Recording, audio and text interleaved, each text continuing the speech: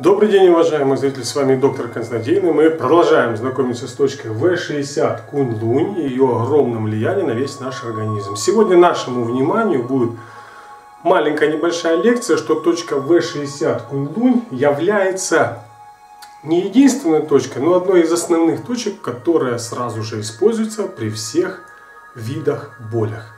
Как внутренних, так наружных, как, скажем так, внешних – так и внутренних, а также всех болях.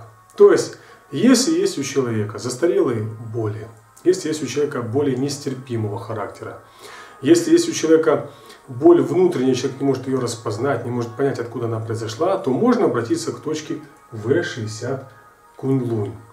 Конечно же, желательно перед воздействием на точку сделать диагностику. Но во всех трактатах, трактатах практически написано, чтобы устранить либо утихомирить боль в нашем организме, достаточно на точку В60 кунь-лунь воздействовать методом тонизации, либо активизации. Только, пожалуйста, не переборщите. И, конечно же, боль вас не не покинет, но станет намного-намного меньше. А уже корень вашей боли, либо откуда происходит корень ваших болей, либо э, той болезни, которая дает боль, может что? Диагностика 12 меридианов. Спасибо за внимание. С вами был доктор Константин.